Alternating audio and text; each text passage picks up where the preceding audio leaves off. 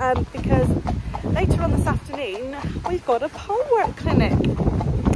Um, I've never done a pole work clinic before and to be honest with you I've never really done anything clinic based before. So I'm really excited and it's with Cassy Gatsby. She's an awesome trainer. I've had um, a few flatwork lessons with her many years ago and keep meaning to continue them you know just never happens um, so yeah that's what we're doing this afternoon so I thought oh under a branch so I thought I would start my vlog now so that I could do my introduction and all that malarkey um, while I have time to think about it because um, obviously I'm taking Pickles, not Miss Echo. Because obviously she starred in a lot of vlogs this summer. Um, but yeah, I'm hoping to take Pickles. He hasn't been in the trailer since September when we went to the cross country and that ended in, well, sort of tears. But, um, so I'm hoping he's going to load. I think he will. Um, so yeah, taking him and Gus, we're having a lesson together, just me and Georgia. Oh, hang on. Sorry about that. She's just getting a bit keen. Um, so yeah, we're having a lesson, um, just me and Georgia, so that'll be quite nice. Hopefully Pickles won't get too spicy and he'll focus. Um, I did have a flat work lesson the other, uh, last Wednesday, which was really good. Um, just sort of getting to know um, how he was feeling after being out of the school for so long and um, he actually was really good and we did actually get a right canter lead which I was super chuffed about. Um, so my plan for this winter is actually to do some dressage. Not my favourite thing to do but you know needs must if I want to go eventing. So that's what I'm hoping to do this winter and I have booked to go into a dressage competition. So I will try and vlog that as well hopefully maybe. I don't know depends how stressed I get. Um, which is probably quite stressed because I'm useless at dressage and always worry that I'm going to skip my test. But anyway that's enough of that. So um, yeah that's what I've got to say what else do I have to say? Nothing very much. So I will catch up again with you a bit later when um, when it's time to get loaded up and sorted to go to our lesson. Everybody, so you might be thinking, I've just started recording again, same but different and all that. Um, so it's actually a different day now. Um, it's actually Saturday, so it is, and we had our lesson on Wednesday. Um, unfortunately, I forgot to um, put the camera going in the process of loading and getting to the venue um, on Wednesday. Um, so this is all a bit of a mixed match of me talking. Um, but yeah, I just wanted to say that, um, yeah, sorry, I forgot to record, but um, take a look at all the clips and then I've already recorded um, my ending as such last night. So this is really bad um, organisation on my part. Um, but I just thought I'd have to whip this bit in quickly for you to uh, for you to just get an idea of what's going on. But yeah, take a look.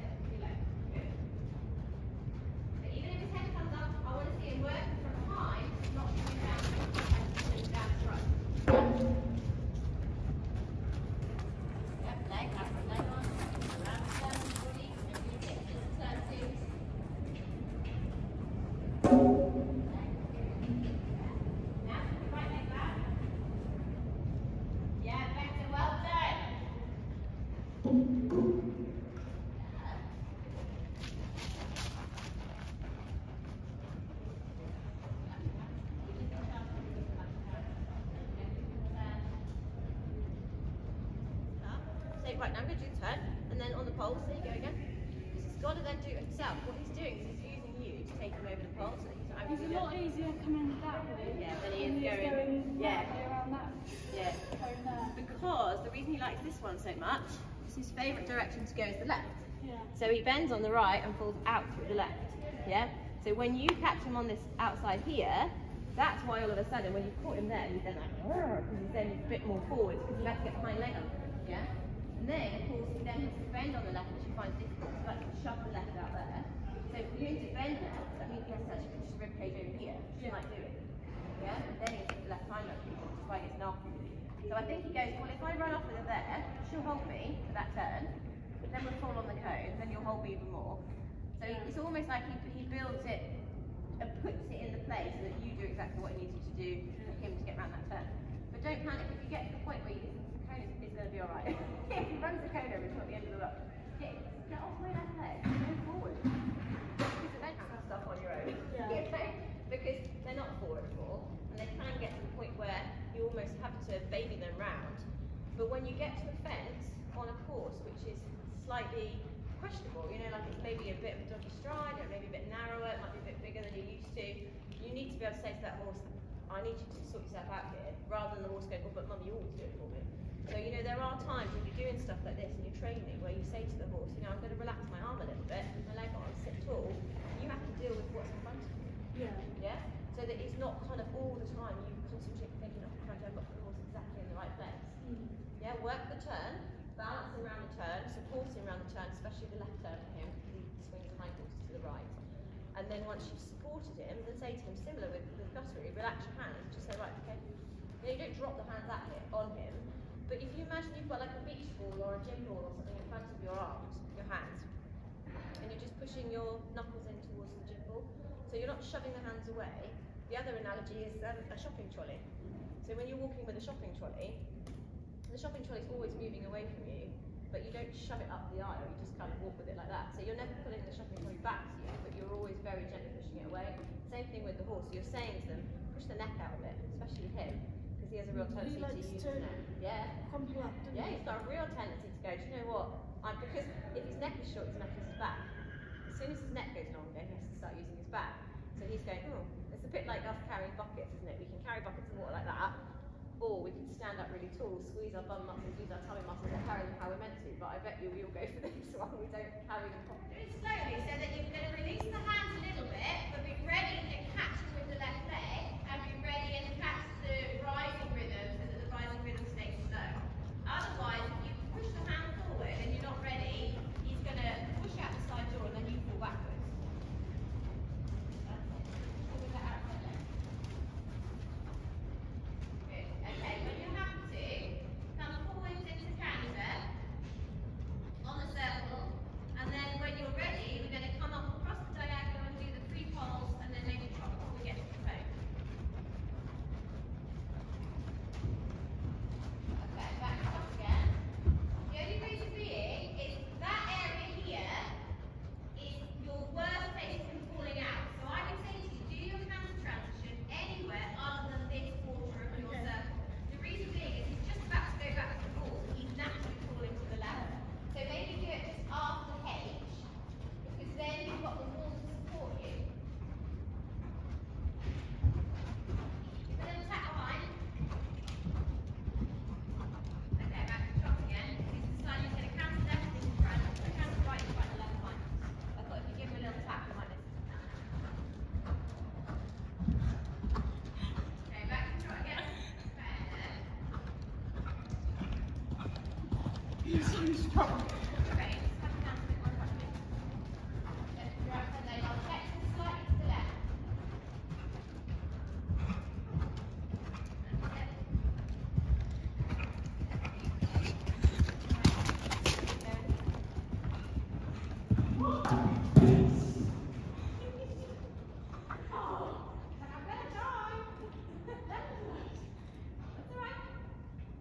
So, your preparation into your canter was absolutely beautiful. You did such a lovely job. He was lean, yeah, good. Right, this circle, stay on the circle. Left, left, left, left. Where's she going now? No. Go on. Left leg. Now try. Yep, there you go. Lovely. Now sit with bum, elbows close, chin drop. Yep, good try. Okay. Lovely. Well done you. Now back again. That's how much you need to get you back, yeah? You almost need to be thinking, I need to drop. Yeah? And I don't mind that you can get you to drop because actually that left side, and then he's got to get behind you to underneath him a little bit. Because for the right hand, he has to push off from the left hind leg, Yeah. around your inside leg. Yeah? He's watching Gussie thinking, oh, I want to have a go. Yeah,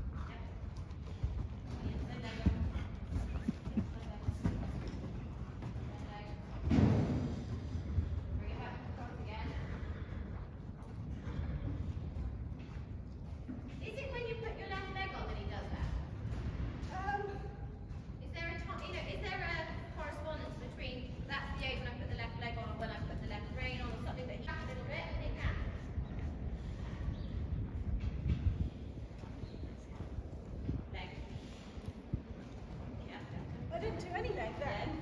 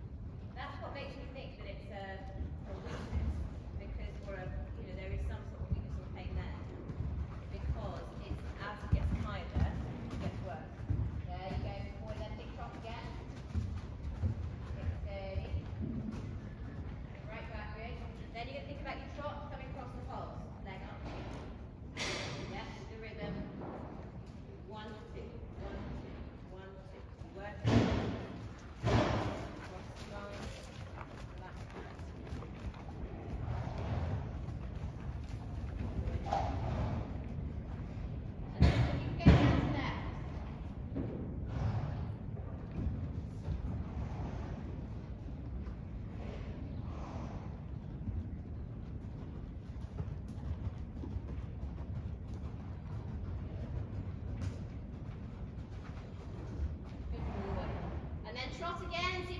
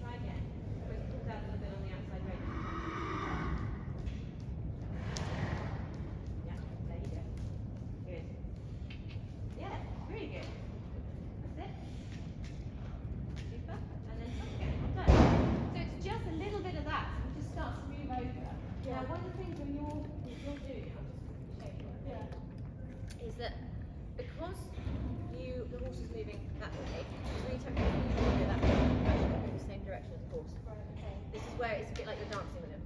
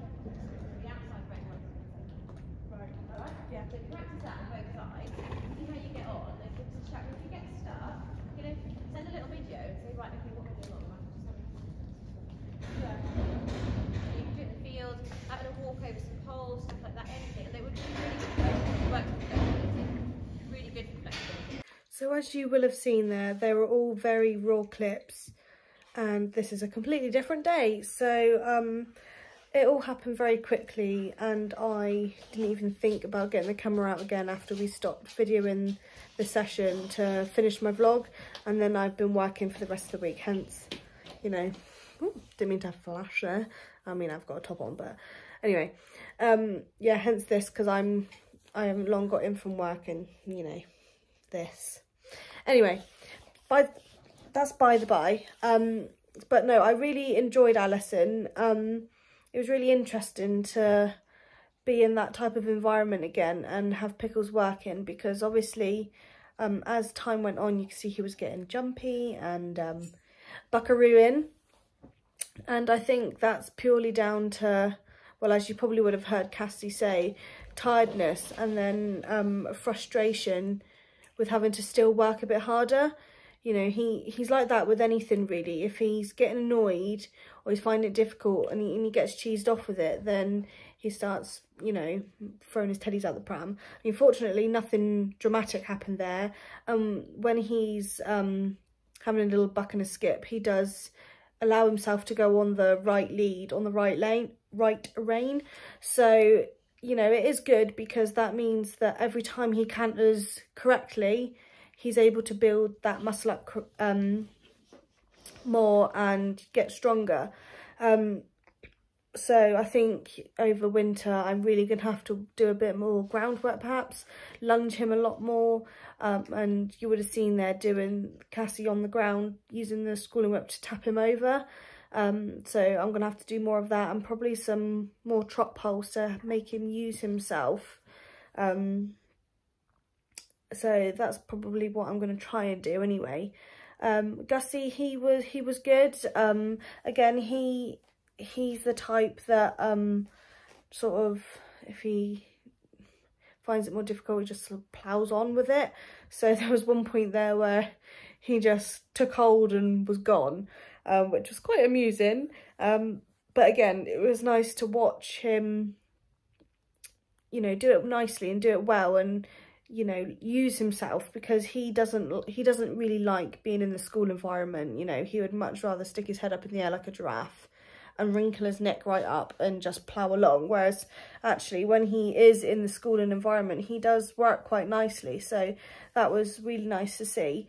Um but yeah that's really what i've got to say I'm, i was hoping to book on to another pole clinic next month but unfortunately um cassy's had to change dates and the days that both myself and Georgia work. So we're not going to be able to make those. So we're just going to have to keep an eye out for any other clinics and hopefully book onto those and see what what the money pot looks like and perhaps um, book a lesson with Cassy privately and see how we fare with that. But um, yeah, I hope you enjoyed watching this vlog. It's obviously a lot more raw um, than what I would usually um, posts, but actually I think it's good to be able to hear what Cassy has to say. And it obviously becomes a little bit more repetitive um, as we do the exercise a few times, but you know, that's where you learn. So yeah, I hope you like this vlog. Um, I can't say it's much of a vlog where I'm chatting, but you know, it's nice to be able to look back on it in the future anyway. But yeah, hopefully I'll have something. Oh yeah, I'm have something to vlog for you because um I'm I've entered the dressage competition um next month, November. So uh see what that's like. But anyway, I'll see you then. Bye.